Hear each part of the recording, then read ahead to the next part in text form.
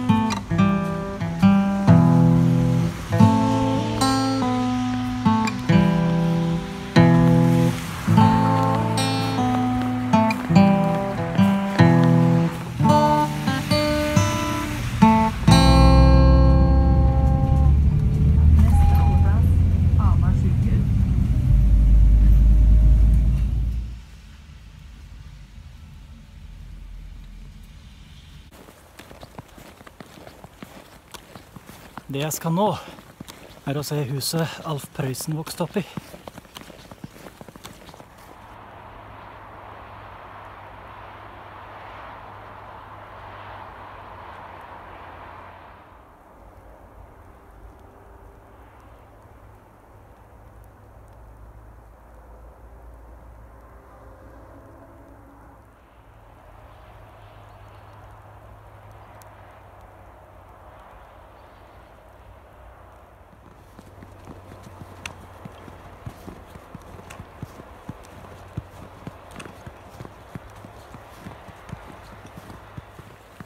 Så bærer det videre.